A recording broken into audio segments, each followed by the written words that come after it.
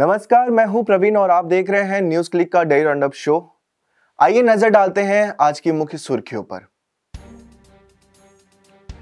एक दिसंबर को हैदराबाद में होने जा रहे स्थानीय चुनाव में महामारी, बाढ़ प्रबंधन है अहम मुद्दे।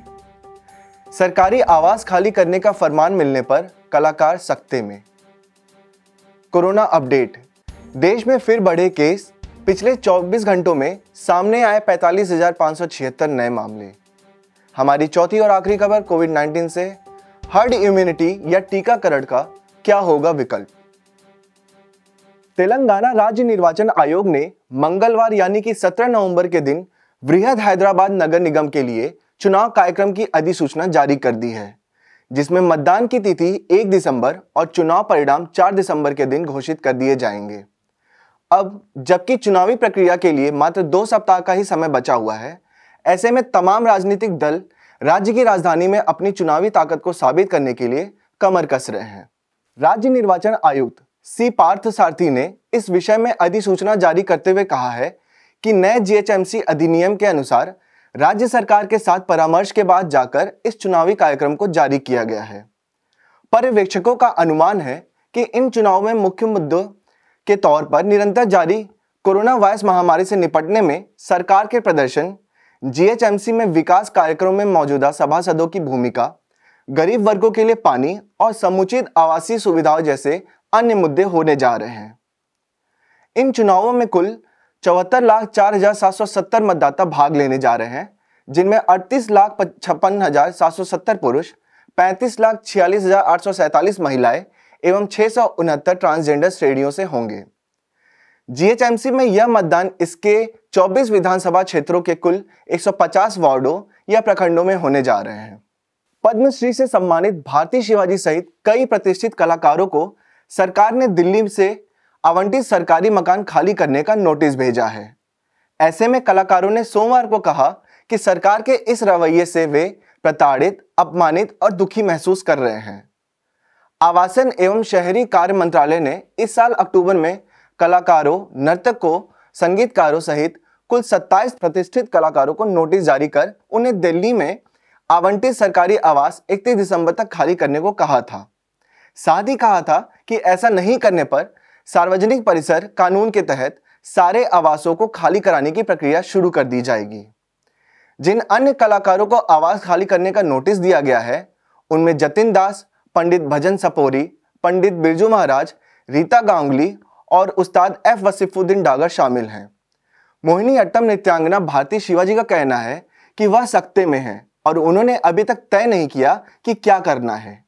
एशियन विलेज में आवंटित आवास आवास में रह रही शिवाजी का कहना है कि यह प्रताड़ना है। मेरे पास कोई और ज़मीन या संस्थान नहीं है। मैं अपना सारा सृजनात्मक काम घर से ही करती हूँ। लेकिन ऐसा लगता है कि सत्ता के लिए पारंपरिक कलाओं का कोई भी मोल नहीं है। उन्होंने कहा कि पारंपरिक कलाओं का संरक्षण करने के लिए कठिन परिश्रम कर रहे कलाकारों को सरकार कम से कम आवास देने का काम तो कर ही सकती है।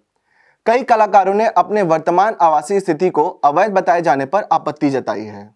केंद्रीय स्वास्थ्य मंत्रालय द्वारा आज गुरुवार, यानी 19 नवंबर को जारी आंकड़ों के अनुसार, देश में पिछले 24 घंटों में कोरोना के पैंतालीस नए मामले सामने आए हैं।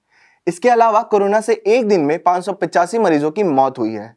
साथ ही इसी बीच देश भर में कोरोना से पीड़ित अड़तालीस मरीजों को ठीक भी किया जा चुका है और कुल एक्टिव मामलों में से 3,500 मामले कम हुए हैं। देश भर में अब कोरोना के मामलों की संख्या बढ़कर नवासी लाख अंठावन हज़ार चार सौ तिरासी हो गई है जिनमें से अब तक एक लाख इकतीस हज़ार सौ अठहत्तर मरीजों की मौत हो चुकी है। स्वास्थ्य मंत्रालय की ताज़ा जानकारी के अनुसार रिकवरी रेट में आज शून्य दशमलव शून्य फ़ीसदी की बढ़ोतरी के साथ रिकवरी रेट बढ़कर तिरानवे दशमलव पाँच आठ फ़ीसदी हो गया है। यानी अब तक कुल मरीजों में से तिरासी लाख तिरासी हज़ार छह सौ दो मरीजों को ठीक किया जा चुका है। देश में अब कुल एक्टिव मामलों की संख्या घटकर चार दशमलव नौ चार फ़ीसदी, यानी चार लाख तिरालीस हज़ार तीन सौ तीन हो गई है। आईसीएमआर द्वारा जारी आंकड़ों के अनुसार अब तक बारह करोड़ पिचासी लाख आठ हज़ार तीन सौ नवासी सैंपल की जाँच की गई है, जिनमें से दस लाख अट्ठाईस हज़ार दो सौ तीन सैंपल की जाँच बीते चौबीस घंटों में हुई है।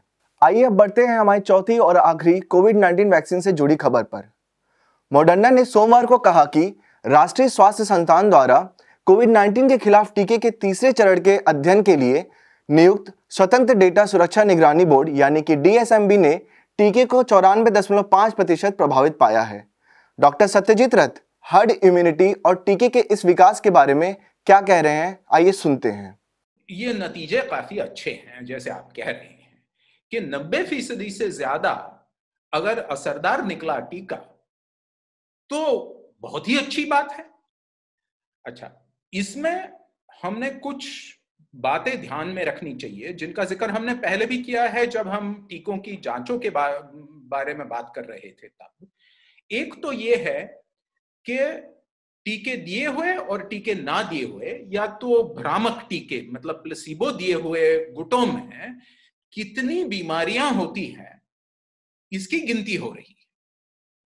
और जो पहली एक तकरीबन नब्बे सौ बीमारियाँ आई हैं बायोइनटेक फाइजर के गुट में, मैं उस वैक्सीन को फाइजर वैक्सीन कैंडिडेट नहीं कहता, क्योंकि उसका जो, उसकी जो तकनीक की उसका जो तकनीकी विकसन है, वो फाइजर ने नहीं किया। फाइजर में ने सिर्फ़ खरीदा है। छोटी बिल्कुल छोटी कंपनी ने जर्मनी स्थित कंपनी ने जो जर्मनी स्थित तुर्की वैज्ञानिकों ने शुरू करी हुई है।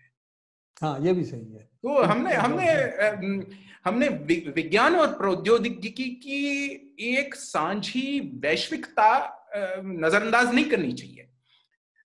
तो लेकिन ठीक है बायोएनटेक फाइजर कहें। बायोएनटेक फाइजर ने पहले सौ बीमारियाँ गिनी। उन सौ में नब्बे फ़ीसदी बीमारियाँ एक गुट में हैं। अब याद रखिएगा कि उन्हें यह नहीं मालूम कि कौन सा गुट कौन सा गुट है। क्योंकि जब इंजेक्शन दिए हुए हैं तो ग्रुप ए और ग्रुप बी, लेकिन ग्रुप ए वैक्सीन है या ग्रुप बी वैक्सीन कैंडिडेट है, ये हमें वैसे तो नहीं मालूम का, का, कागज़ पे नहीं मालूम। लेकिन अगर नब्बे और दस का या पचासी और आठ का फ़र्क पड़े तो ज़ाहिर है कि जो फाइजर ने प्रेस रिलीज़ किया बायोटेक ने नहीं किया फाइजर ने प्रेस रिलीज़ किया। और जिसके ज़रिए उन्होंने अपनी स्टॉक प्राइस उछलते देखी तो ज़ाहिर है कि लगता है कि टीका कामयाब हो रहा है। मॉडर्ना का बिल्कुल वही हाल है। आंकड़े उतने ही, हालाँकि उससे भी कम है, लेकिन उतने ही आशादायी है। लेकिन परेशानी ये है कि इस तरीके से इन आंकड़ों को अगर हम दिन ब दिन देखने लगे तो बड़ा तो बड़ी चिंता आगे आती है। चिंता ये है कि एक ओर से कंपनियाँ कह रही हैं अंतोनी फाउची साहब कह रहे हैं कि वाह वाह, ये तो बड़े अच्छे आंकड़े हैं और टीके असरदार हैं कामयाबी नज़दीक है। तो एक जन सामान्यों का दबाव बढ़ने लगेगा कि भैया, टीका तो काम करता है, फिर ये जाँच वांच का मसला क्यों? बस टीके को मान्यता दे दो और टीके बाज़ार में आए, टीके स्वास्थ्य केंद्रों तक पहुँचे, सबको मिले, सबका कल्याण हो और चंद महीनों में ही हो और सार्स को दो और कोविड उन्नीस को अपन भूल जाए। इसमें अड़चन ये है कि ये बड़े प्राथमिक आंकड़े हैं। दोनों कंपनियों ने एक ओर से इसको बतौर इश्तेहार के सामने रखा है लेकिन ये कह के सामने रखा है कि भैया ये प्राथमिक आंकड़े हैं। आगे चल के और देखना है। लेकिन ये जानते हुए सामने रखा है कि अगर आशादायी आंकड़े हैं तो ज़रूर दबाव बढ़ेगा। दो चीज़ एफडीए पर सीडीएससीओ पर जो रेगुलेटरी अथॉरिटीज हैं उन पे दबाव काफ़ी बढ़ना है कि भैया आप अब अब देर क्यों हो रही है? अप्रूवल दे दो। सतीश तो, दो चीज़ है।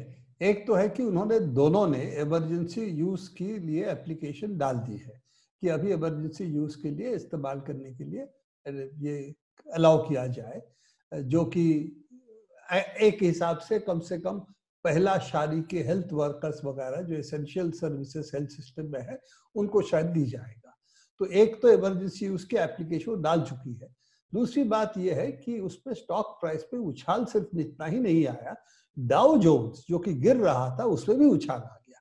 तो इसका, इसके जो इमीडिएट इम्पैक्ट जो भी हो तो ये जो स्टॉक होल्डर्स है, इन कंपनियों में, खास तौर से इनकी जो लीडरशिप है, उनको स्टॉक ऑप्शंस मिलती है। उन्होंने स्टॉक ऑप्शंस भी इस्तेमाल करके स्टॉक बेचना भी शुरू कर दिया।